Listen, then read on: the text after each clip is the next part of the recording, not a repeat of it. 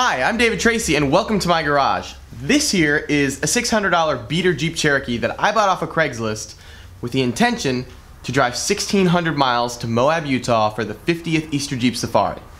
Now, I've owned the Jeep for about six months, but I didn't really get started wrenching until a couple of weeks ago. I've been slacking. But thanks to a couple of readers, I've actually been able to make quite a bit of progress. How much progress? Well, take a look. The most obvious change is the new lift kit. The front was fairly simple. We just pulled out the old springs, shoved in some new stiffer springs. We got about three and a half inches up front. The back wasn't too bad either. We got some cheap Chevrolet S10 pickup truck springs off of Craigslist, cut the main eyes off, and bolted it underneath the main leaves under the Cherokee.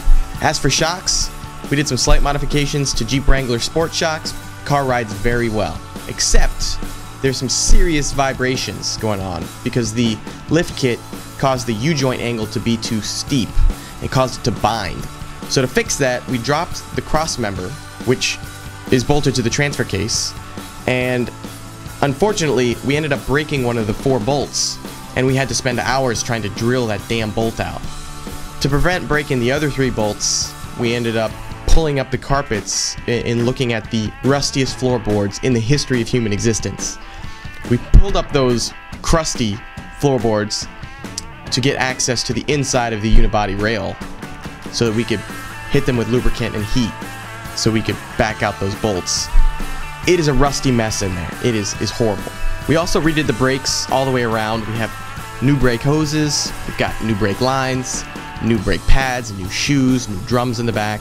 Speaking of brakes, in case the Jeep breaks, we've got some spare axle shafts that we pulled out of some Craigslist axles we found. So that's good. We've also replaced the air filter, the fuel filter. We've gotten quite a bit done, but we've only got nine days, and I've still got to do the entire cooling system. I've got to bolt up the skid plates, replace the transfer case chain, then I've got to do ball joints, U-joints, and a wheel hub in the front. Plus, I got to figure out my, why my low beams don't work. So there's plenty of work to do, not a lot of time.